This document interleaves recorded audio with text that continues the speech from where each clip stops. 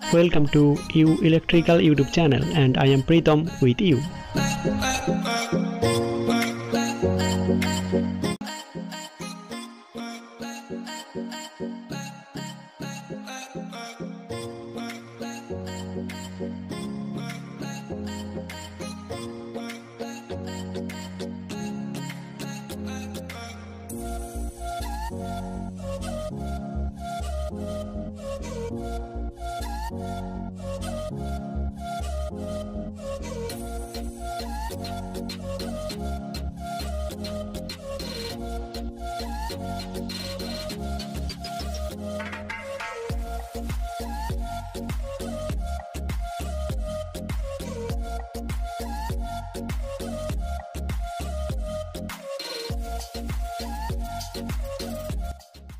First consider a three-phase synchronous motor having two rotor poles, NR and SR.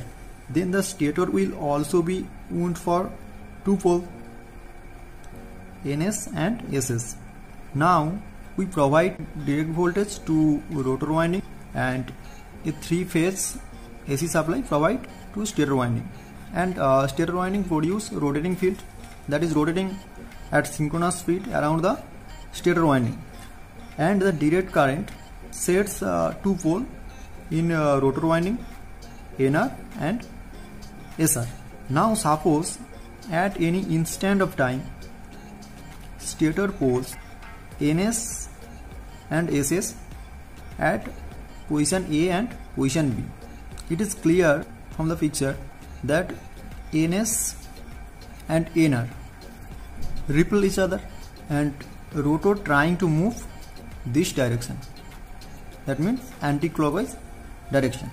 But after a half cycle that means uh, we provide here three phase sub consider 50 hertz 50 hertz three phase supply we provide.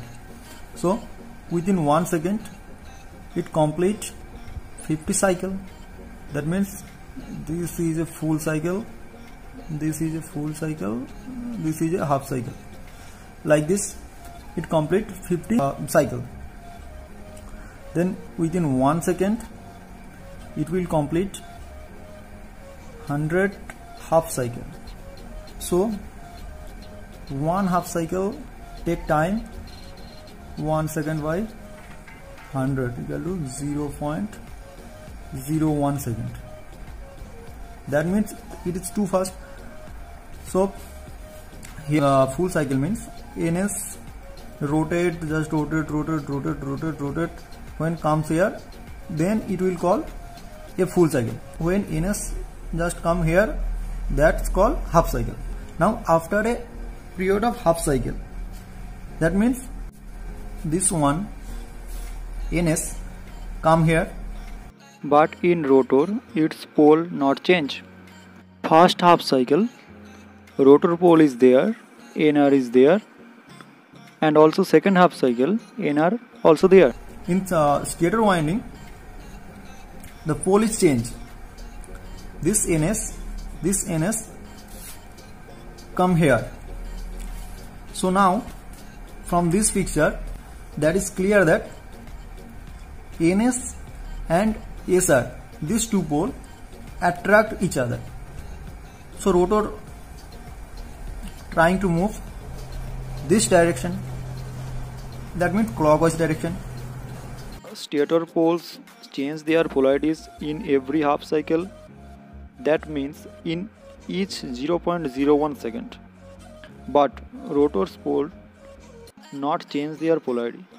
Due to this in every first half cycle the stator and rotor pole repel each other and just next half cycle they attract each other and vice versa.